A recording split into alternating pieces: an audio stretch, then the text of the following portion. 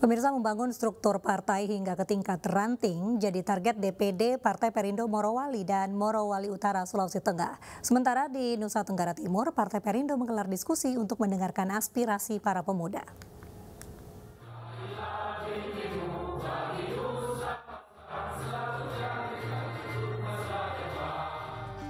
Menguatkan struktur organisasi dalam Partai Perindo, DPD Morowali dan Morowali Utara melakukan rapat konsolidasi.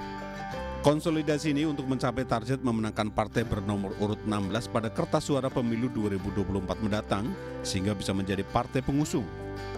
Kalau partai tidak ada struktur, itu omong kosong.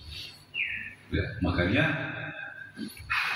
setelah itu saya menyampaikan ke ketua wilayah kita harus melakukan konsolidasi.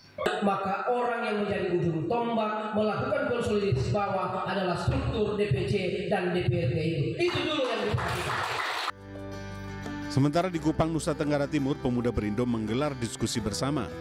Diskusi pemuda ini mengangkat peran dan tanggung jawab pemuda untuk bersama-sama membangun masa depan bangsa. Pemuda adalah unsur penting bangsa dan jumlah pemuda di NTT juga sangat besar dan kita harus mempersiapkan agar mereka juga kompetitif untuk menghadapi perekonomian dunia dan, dan juga dinamika perekonomian di Indonesia.